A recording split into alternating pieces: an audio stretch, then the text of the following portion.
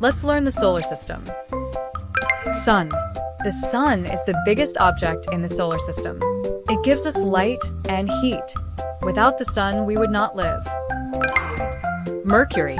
Mercury is the closest planet to the sun.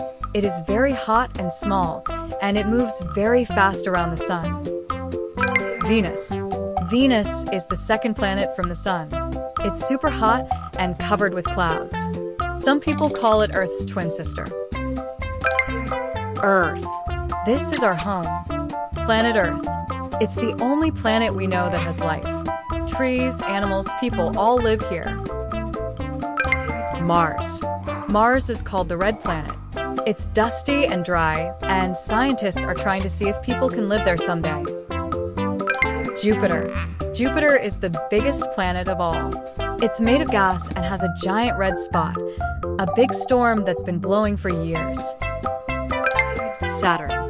Saturn is famous for its beautiful rings. They're made of ice and rocks.